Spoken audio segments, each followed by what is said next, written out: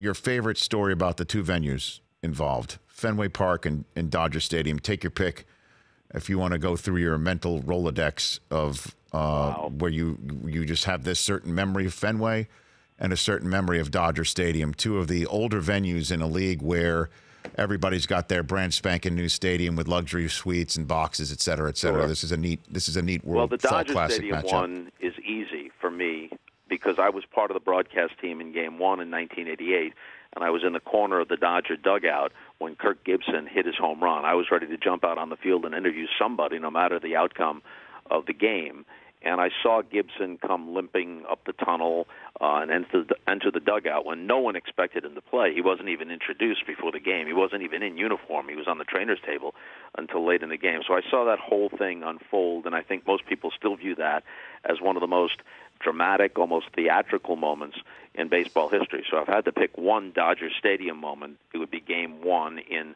1988. Well, let me dive a little bit more into that, though. So you're in the you're in the dugout. Um, you you're listening to the broadcast. You're hearing Vin, and all of a sudden you look and you suddenly see Gibson in uniform, and you saw but that. Not it. not exactly. Here's here's the way it happened. Back then, I mean, it seems almost quaint. Back then, broadcasters were not allowed to be in the dugout during the game. Mm-hmm. Now everybody's mic. They do in-game interviews That's with right. the managers and, and players and whatnot. But then, technically, I was breaking the rules but I didn't want to be hiding in the tunnel and not be able to see the game. So I sneak to the very edge of the dugout, and I'm perched there, and Lasorda sees me. And I always knew with Tommy, none of this had any malice. It's just who Tommy was. So Tommy starts screaming to his guys, Look, it's bleeping Costas. Even bleeping NBC thinks the bleeping game is over. They don't give us any bleeping chance. and I, I'm trying to suppress my laughter, but they, they liked me well enough to let me stay there, even though I was breaking the rules. So now I hear this is like in the eighth inning. I hear a sound from down the tunnel where there's a batting cage. So I walk down to investigate, and there is Gibson with a ball boy who is putting balls on a tee and he's hitting balls off the tee and he's grunting in pain with each swing. and it's at that point that I get on the IFB to Mike Weisman mm-hmm. and John Filippelli in the truck and I say, let Vin and Joe know that Gibson has put his uniform on. He's taking practice swings. I don't know what that means, but I guess he could pinch hit. And that's what happened. Oh, so what about your Fenway memory? You know, I wasn't there. I was watching on TV, mm-hmm. but the Carlton Fisk home run in 1975 is still uh, an extraordinary Fenway moment. Uh, the Dave Roberts stolen base and what it led to uh, in 2004 when they were on the brink of defeat against the seemingly invincible Mariano Rivera and what that led to. And Roberts himself tells a very interesting story. He wears number 30 in honor of Maury Wills, a great Dodger of uh, the 1960s era with Koufax and, and Drysdale and that team.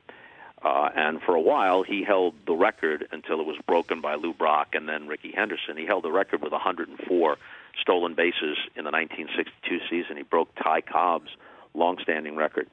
And Maury Wills said something to Dave Roberts early in Dave's career that every great base stealer that I have known has confirmed for me. The real test isn't when there's an element of surprise. The real test is when everyone in the ballpark knows that you have to steal this base, and you still got the guts to do it. And Robert said that Maury Will's voice was in his head when Terry Francona sent him out to pinch run um, in the ninth inning. And he knew he had to go on the first pitch, that he couldn't waste any time. He did and he was safe by an eyelash. Posada's throw was good. Jeter's tag was good. He was safe by an eyelash. Even if they'd had replay, he still would have been confirmed as safe. And it's interesting that he never appeared in the World Series. He never had an at bat. He did pinch run in the next game, but those were the only appearances he had for the Red Sox in that postseason. He'd been traded from the Dodgers at midseason, and then in the offseason, he was traded to San Diego. So that's all he did. Mm. But forever, he is part of Red Sox lore. And tonight, when he's introduced, he's going to get a standing ovation from the fans at Fenway Park. but it's funny how basically that pinch running appearance is all he ever did in a Red Sox uniform, but it was more than enough. So, so then I guess it's only fitting that will be the, the only cheers he gets for the entire World Series when he's in Boston. well, that's what he said to me yesterday. He said they're going to give me a standing ovation, or at least I hope so, uh, when it starts, and then after that, I'm the enemy, and that's the way it should that's be. That's the way it should be. The Rich Eisen Show, weekdays at noon Eastern on Audience.